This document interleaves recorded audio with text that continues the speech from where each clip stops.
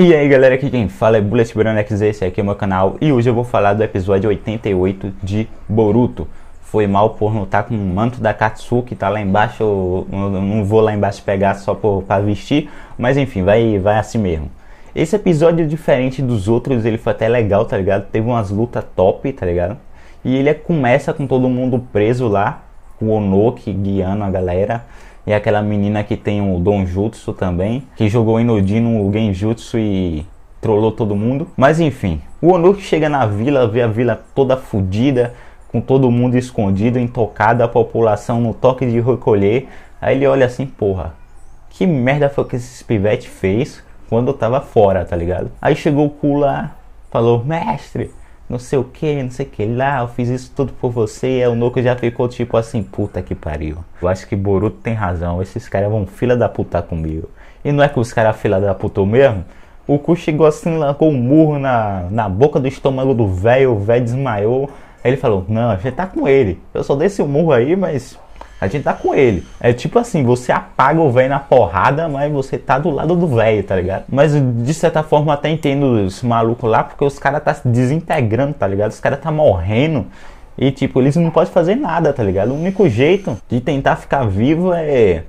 Infelizmente é matando alguém, arrancando o coração e botando no lugar, tá ligado? E é isso que eles estão tentando fazer. E eu não sei como é que esse arco vai acabar, porque eu não sei se esses caras vão morrer ou esses caras vão ficar vivos por algum milagre. Tipo, eu fico na dúvida porque se fosse Naruto, lá no anime anterior, eu previ assim, os caras vão morrer, vai ser algo triste, coisa e tal, mas como é Boruto, que é tudo flores e bonitinho, aí eu não sei se vai ter essa parte triste, tá ligado? Eu não sei se alguém vai morrer, ou eles vão arrancar coração de alguém. E na época de Naruto, eu podia até esperar ele arrancar o coração de alguém e foda-se, tá ligado?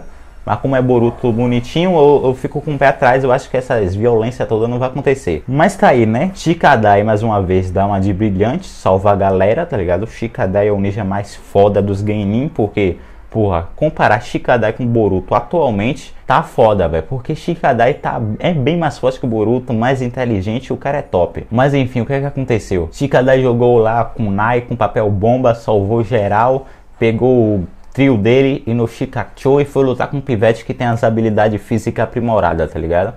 Pivete lá, muito forte, tá ligado? Quebra todo mundo no cacete, mas Shikadai, como é o gênio, bola estratégia, vai lá e derrota o pivete.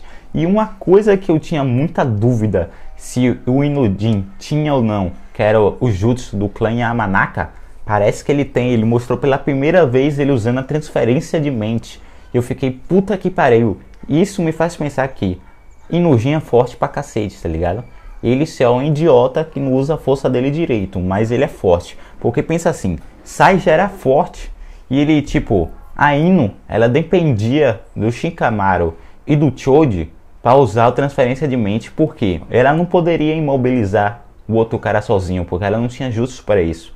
Mas o Inoji tem, tá ligado? Ele pode usar os desenhos da besta para atacar o cara, imobilizar e ele mesmo usar a transferência de mente, tá ligado? Então isso deixa ele bem mais forte do que a Ino.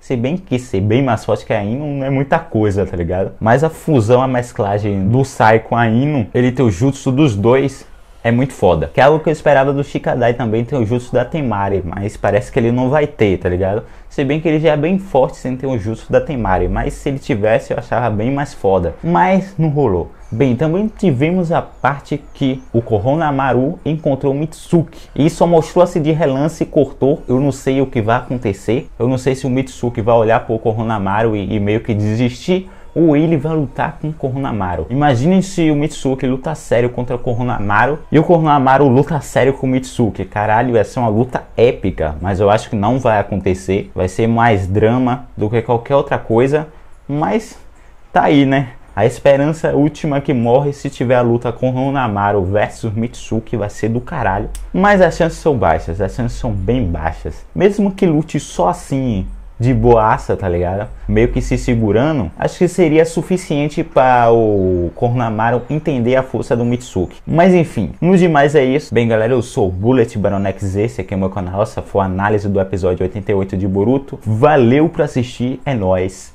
e tchau!